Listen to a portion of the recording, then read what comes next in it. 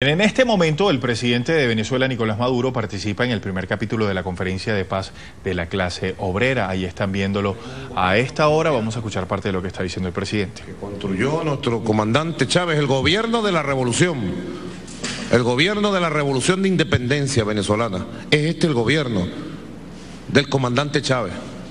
Nosotros vamos por el camino del comandante Chávez. Y estábamos recordando hoy, precisamente cuando vamos a cumplir el segundo año de esta avanzada, humanista, moderna ley orgánica del trabajo, los trabajadores y las trabajadoras que firmó nuestro comandante Chávez hace dos años. Mañana 30, en este mismo salón, aquí mismo, en este mismo salón. Nuestro comandante iba saliendo para La Habana a uno de sus tratamientos, recuerdo, de radioterapia. hay cosas que nunca se supieron de la batalla que daba el comandante por la vida, por la salud, y nunca descuidó jamás un segundo sus responsabilidades.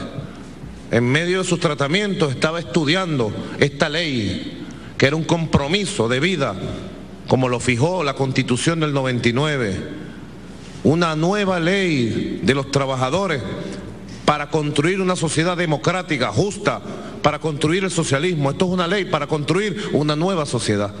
Y el comandante Hugo Chávez, bueno, personalmente, con la ayuda de la comisión presidencial que me tocó a mí eh, coordinar, aquí hay varios compañeros que recuerdo estuvieron allí, compañero diputado,